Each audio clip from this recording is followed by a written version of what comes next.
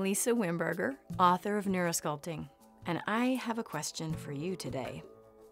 Who would you be if there was nothing standing in between you and your dreams? My mother had such amazing dreams, and I remember as a child watching her, the most gregarious woman I'd ever met, the funniest, most flamboyantly animated woman. She was a joker. She was an imitator. She was an actress. She sang. She danced. She did it all. But she did it in the home.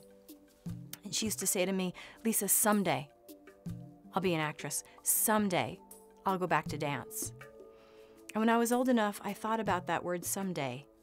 And I thought, someday is really saying I can't right now. And I thought about what's behind the I can't. What's behind your I can't? Is it I can't because I don't have time or money? Or some other thing? Is it I can't because I'm afraid?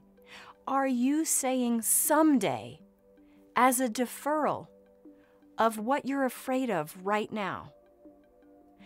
And I made a commitment to myself that I was going to leave a legacy to my daughter and to those I could touch and reach, like you.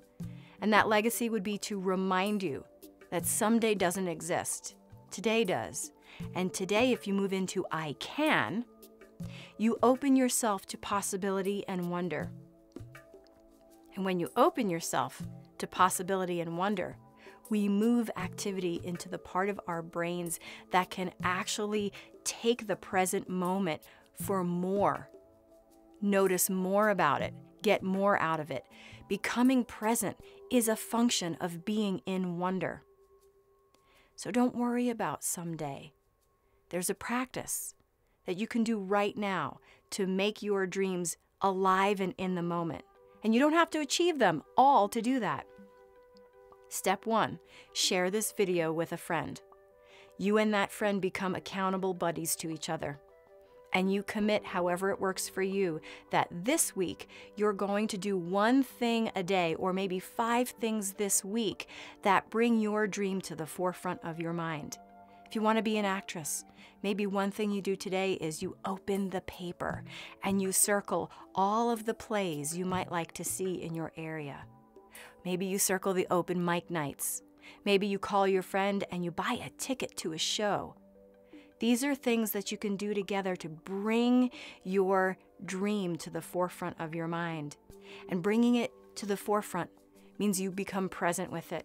You step into the I can and you step into the possibility. And then someday doesn't even matter anymore. It's what you did today. And then I invite you to come back to this video and see where you're at a week from now, two weeks from now.